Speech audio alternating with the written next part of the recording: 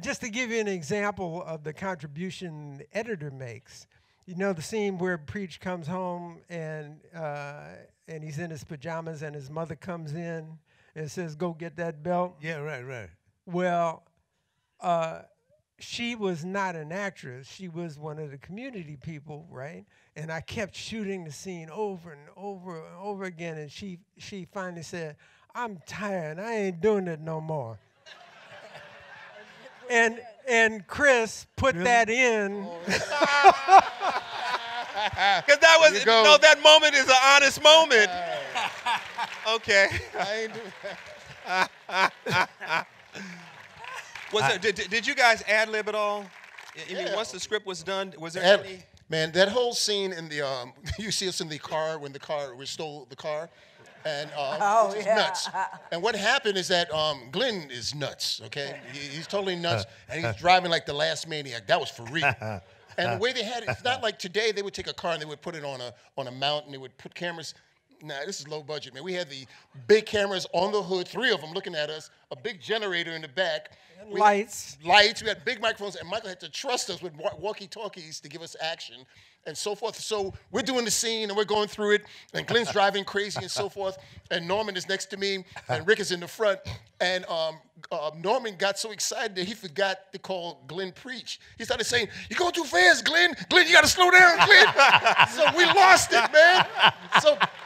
You look in the movie, you see us cracking up, and you see Glenn is trying to keep it serious. We- I didn't care. I was on the ground like this, man. I- we were through. So I mean, yeah, you know, things were spontaneous. Michael was real loose with us. You know, he let us be, and um, He sure did. he was very, he's very like comfortable with, with how he directs you. And he'll come up and say, uh, "No, don't do that," and it'd be, that was it. You For me, the funniest part of that whole thing is at the end where he crashed in the back of the car and the guy is saying whiplash, whiplash, and, and the That girl was one saying, line. and the girl saying, "Lay down, fool."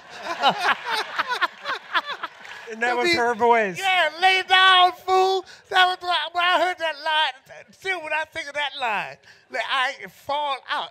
That line alone and that image makes me Well, laugh. it's, it's so many layers. You know, Yeah. the movie is so layered and twist and turn and twist. I mean, You know, let me. I don't want to cut, but you know what you're saying with the with the whiplash thing. You know, you let it go because in the script it was it, the guy said it once. It just said whiplash, but this this comedian brother he got um, Whiplash. You just let him go. I mean, I was off camera rolling, man, because this guy would he, Right. he, he was whiplashing for about a week. Whiplash, You know what I'm saying? whiplash. It was totally funny. And quick historical uh, note for everybody.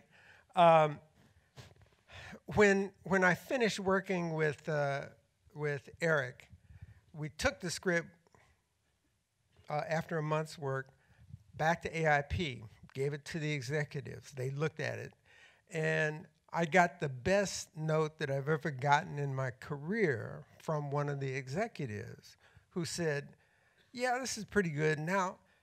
take it back home and rewrite every scene in a way that you have never seen before. Oh nice, And I said, What? nice, nice note. Yeah. And then I, I, I thought, I said, hmm, the, the letter f- from Cochise was written that he finds it on the dresser. Uh, and Brandon, when he was a toddler, had this habit of putting things in the toilet. and I and it finally hit me. Oh, okay. this is a way that nobody's ever seen before. wow. and so I, then I put him in the movie to do his thing. You know. He was good. He was good every take. He was good.